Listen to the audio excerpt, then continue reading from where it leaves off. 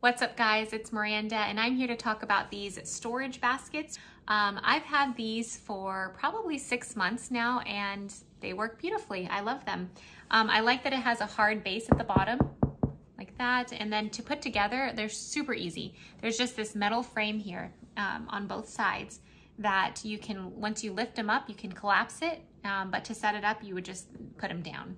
Um, I don't know if that made any sense, but it's super duper easy. Trust me, I did it myself.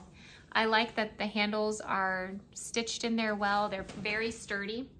Um, this is a nice size. I actually put these on the top of my closet and store hats and dog things, um, but they're large enough to where you can roll, like you can do towels. I like the, the look of this. Um, like if you have towels rolled up, it'd be nice.